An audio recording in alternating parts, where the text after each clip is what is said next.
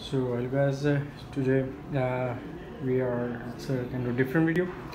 Like i have ordered the the gray and ghost the slim cigarette case from amazon.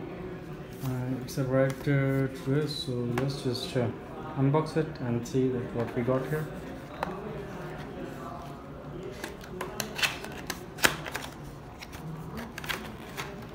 It comes with this uh, packing it seems to be nice. It, seems nice to me so this is the case and uh, yeah i have just already opened that case and making the video later. So yeah you can see here is the case. It's pretty lightweight and uh, it seems stylish enough. Okay.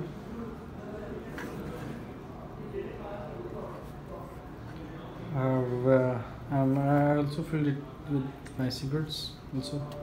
So you can just open it here is it. I have added 10 of them.